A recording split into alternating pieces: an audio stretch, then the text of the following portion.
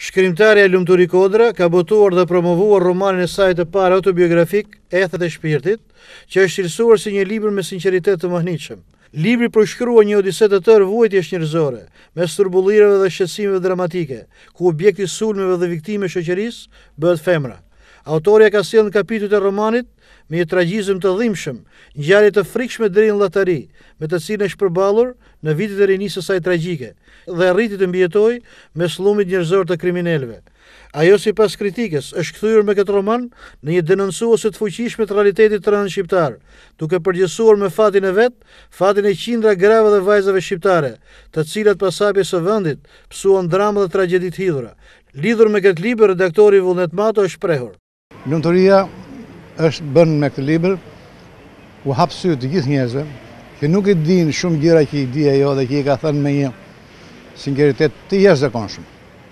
Nuk kam parë grua të bëjë libër se unë kam redaktuar disa libra grash, të shkruajë me një sinqeritet të tillë, kaq të çiltër, kaq të sinqert, me detaje, me një narracion që të rrëmben. Së pari duhet të them që Durrësi është një qytet i mbushur me krijues. Edhe ata që jetojnë jashtë dhe ata që janë brenda i kanë dhënë këtij qyteti një dimension shumë të bukur. Edhe Lumturi Kodra është një shkrimtare emigrante e cila me librin e saj sjell një kontribut të vlefshëm në pasurimin e letërsisë së këtij qyteti, me elementë dhe vlera cilësore. Me sa kam lexuar, libri është një roman i karakterit ekzistencialist, në të cilin fati i individit përshkruhet në udhëkryqet e jetës. Fati në këtë roman është përshkruar me nota shumë dramatike, fati i një gruaje përballë dallgëve të jetës. Është Një personazh tek i cili shohim të mishëruara shumë bukur karakterin e fuqishëm, qëndresën dhe vizionin. Vetë autorja e Etheve të Shpirtit thotë se libri i saj është një shkrim autobiografik i jetës së saj personale, duke filluar nga jetimorja ku është rritur. Mes skenave të rënda të jetës së saj dhe personazheve kriminale, ajo nuk ka harruar që të sjellë në qendër të aksionit të romanit edhe një figurë shpirtmadhe, që ka arritur t'i shpëtojë jetën nga torturuesit në një nga bunkerët e izoluar ku e kishin futur. Këtij njeriu autorja me shpirtmadhësi thekson se do t'i jetë mirënjohëse përjetë megjithëse ai nuk jeton më.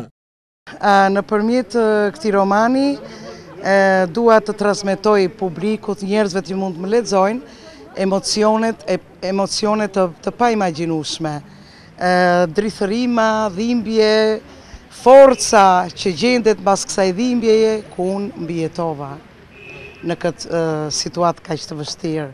Domethënë në gjithë dhe ngjarjet kanë ndodhur pikërisht në qytetin e Durrësit. Dhe unë jam durrsake. Personazhi kryesor, protagonistja jam unë sigurisht. Por uh, unë nuk do të lë pa përmendur në këtë roman që është uh, një diçka e veçantë, jam pak e emocionuar.